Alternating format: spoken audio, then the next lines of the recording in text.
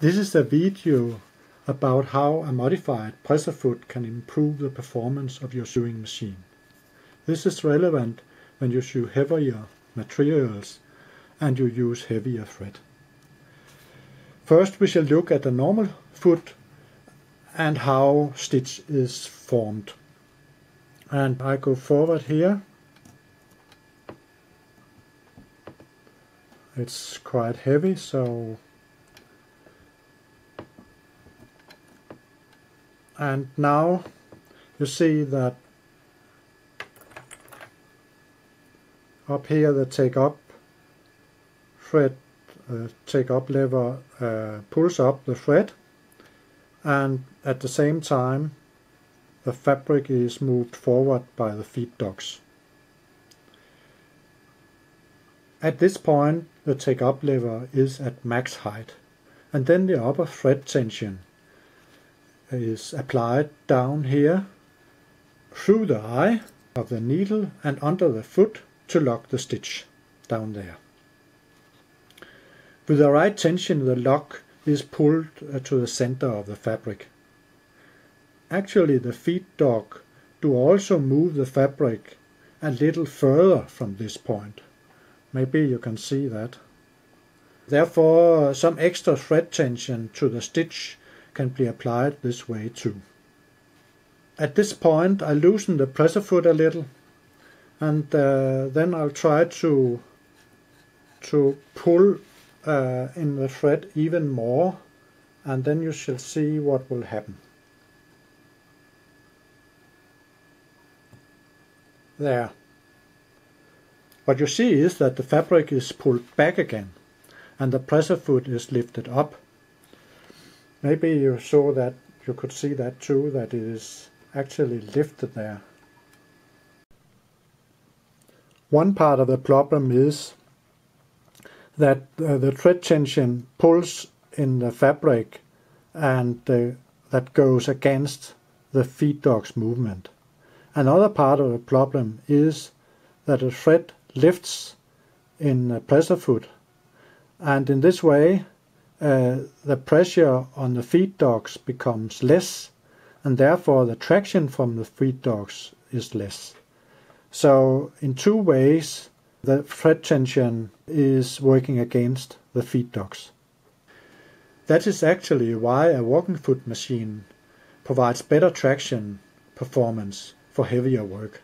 The thread needs to make two turns here before it goes down and that adds extra friction to the thread.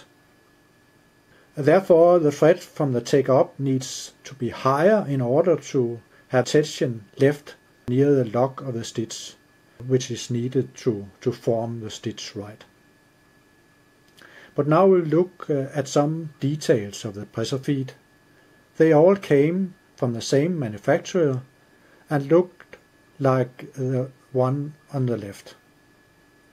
The center one is modified by grinding the edge that the thread pass with tension when a lock stitch is formed. A good quality foot will have this edge rounded. It was the middle pressure foot you just saw before. Then I made a third modification by cutting a slit to the back of the foot on the foot to the right. Now we make a stitch again with a modified foot. And I go down here and make a stitch forward.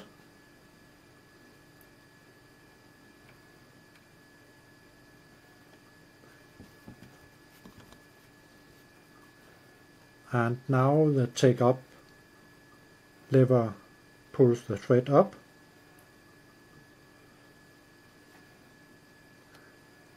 and we see the fabric is moved forward by the feed dogs and there we have the max position.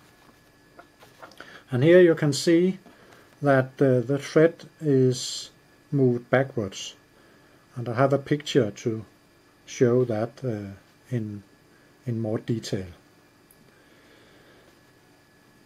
At this max position of the take up you see that the thread have a more direct way from the needle and to the lock of the stitch. Uh, it doesn't have this labyrinth uh, under the foot. Therefore, less ten upper tension should be needed when you do this. Furthermore, the direction of the thread on the fabric have a little angle there. So it's not the full force of the thread tension that pulls against the feed dogs trying to move forward the fabric. The thread pulls back in the needle. You can see there is an angle there that pulls on the on the needle and uh, therefore the needle will bend a little uh, to the back there and hopefully this will be okay.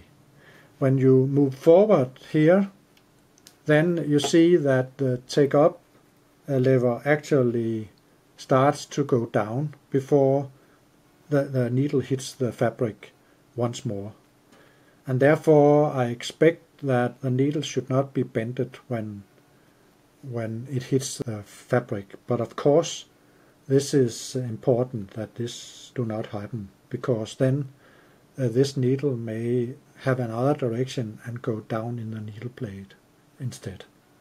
I've tried to measure the needed pressure foot down force and the needed uh, thread tension for a balance stitch for each of the two feet here. You will find the results in the table here Please stop the video if you want to study more. I then made uh, one drawing for each presser foot and they try to explain the measured tensions and estimate some tensions elsewhere. Stop the video if you want to, stop, to study these drawings more.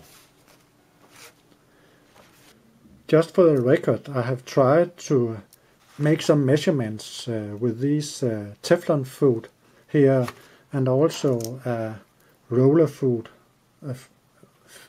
as uh, this one. And I do not see any significant improvements uh, by doing this.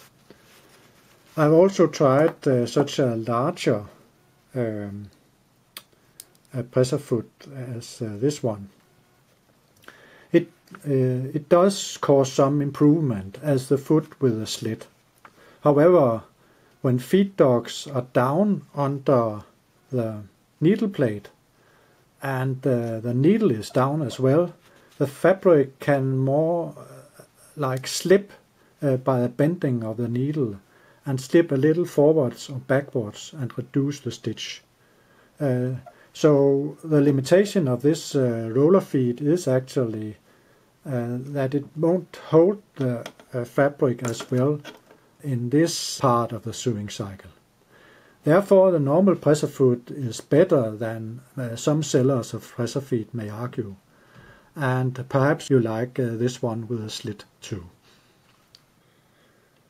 If your presser foot tends to stick uh, to the fabric here, there is an old trick with baking paper like this and you can uh, clip out strips of it and put it under the presser foot while you're sewing.